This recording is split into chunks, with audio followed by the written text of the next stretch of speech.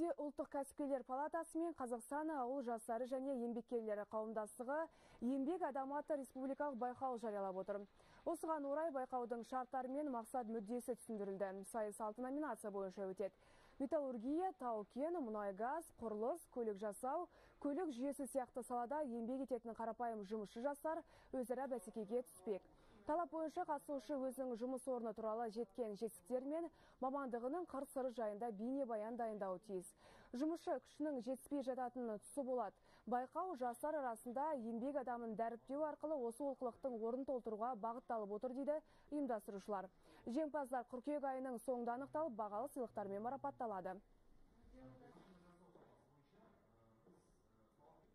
жастар негізінен гуманитарлы мамандықтарға яғни банк налог бойынша көп қызығушылық артуда. Негізінен жұмысшы мамандығына көп жастар аса бара бермейді. Негізгі мақсат сол жұмысшы мамандық бойынша ол мамандықтың мәртебесін көтеру сол бойынша жастарды марапаттау болып табылады.